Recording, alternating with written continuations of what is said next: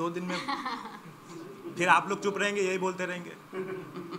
इनसे पूछ लीजिए कहीं शत्रु हाँ, और- से मिलकर तो नहीं आए थे और उसके लिए और आपके लिए फ़ी फ़ी का कोई प्रोसेस नहीं है आप दो दिन ऐसे ही आ जाइए। चलिए अब लोकसभा आने वाला है सुन के क्या कुछ कहना चाहेंगे? किस तरह प्रकार की तैयारी चल रही है? गठबंधन भी हो गया है अब दोनों राष्ट्रीय लेवल की पार्टियाँ हैं। जी।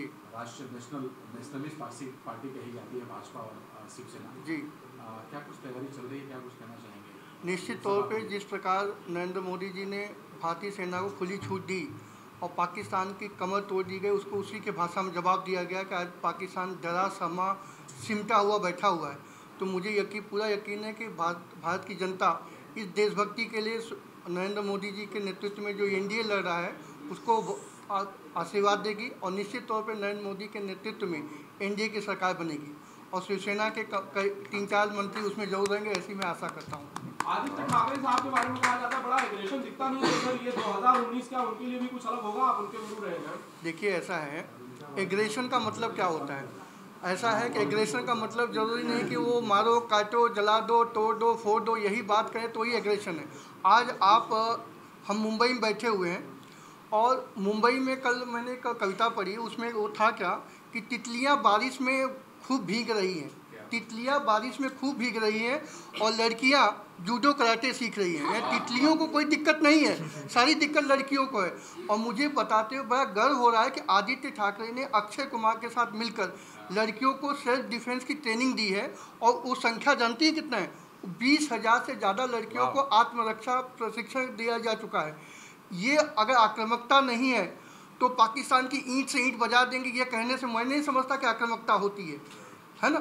तो मुझे उनका भविष्य बहुत उज्जवल दिखाई दे रहा है और मैं ये दावे के साथ कह सकता हूँ अगले कुछ वर्षों में ही यानी मेरे जीते जी ही वो महाराष्ट्र की कुर्सी पर मुख्यमंत्री कुर्सी पर बैठेंगे और मुख्यमंत्री जिस दिन मेरे पैर छू लेगा मैं समझ लूँगा मुझे गो दक्षिणा मिल गई। हाँ, शिवसेना अभी कुछ दिन पहले तक जब गठबंधन नहीं हुआ था तो कपड़े उतार रही थी भाजपा की और कि जी। आप कोई कपड़े नहीं छू पाएगा देखिए ऐसा है। शिवसेना जनता के हित के लिए सरकार से संघर्ष कर रही थी। कोई व्यक्तिगत कभी आपने देखा कि शिवसेना ने कभी बोला कि हमको तीन मंत्रालय दे दो चार मंत्रालय दे दो नहीं तो हम रूठ रहे हैं? ऐसा शिवसेना ने कभी नहीं किया है। ये सब बाकी दल करते हैं। शिवसेना मुद्दों पे आधारित जैसे भगवान राम का मंदिर बनाने की बात हो या पाकिस्तान को सबक सिखाने की बात हो। लेकिन मंदिर तो बना नहीं हाँ। लेकिन मंदिर बना नहीं लेकिन मंदिर के लिए सरकार ने बहुत ठोस पहल की है कि पैंसठ एकड़ ज़मीन जो विवादित नहीं है उसके लिए कोर्ट में उन्होंने कहा है।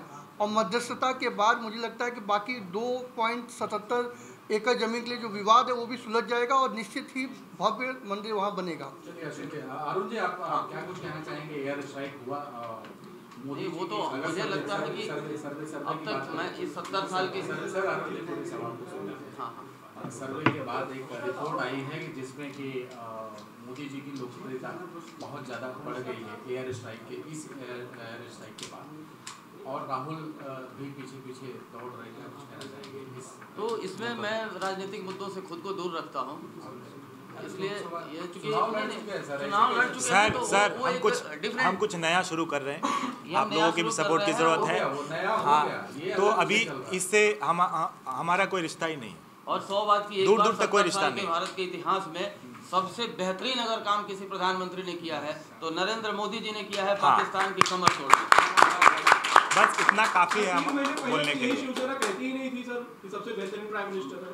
मेरी कद अभी उतनी नहीं ऊँची हुई है कि मैं शिवसेना के बारे में कुछ बोल पाऊँ। बिल्कुल उसके लिए उसके लिए बोलने के लिए हमारे गुरु जी बैठे हुए इनसे हाँ। वो प्रश्न आप जितना प्रश्न है पूछ सकते हैं गुरु जी देंगे जवाब। चलिए